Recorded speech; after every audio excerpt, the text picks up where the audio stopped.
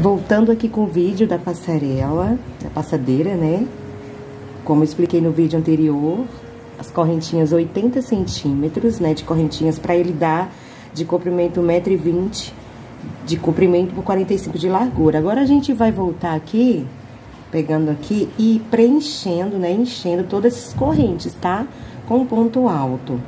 Aí, nós vamos é, fazendo cada ponto alto para cada correntinha de base, tá bom? Ó, nesse primeiro aqui, a gente vai deixar aqui, ó, três correntinhas aqui, ó, um, dois, três, que vai corresponder a um ponto alto. Dá, é, laça a agulha, ó, tá vendo? Aí vem aqui no próximo ponto, aqui deixou três, um, dois, três, tá? Aí a gente vem aqui, ó, nesse ponto.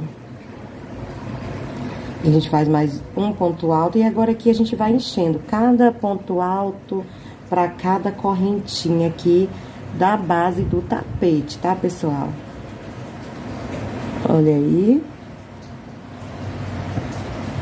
Para cada ponto, né, da correntinha. De base, um ponto alto. Vai enchendo ela. Aí, eu vou encher aqui, pessoal, tá? O ponto alto, todo sabe, dá uma laçada na agulha. Aí, vem aqui, ó, tira três, aí aqui dois e um.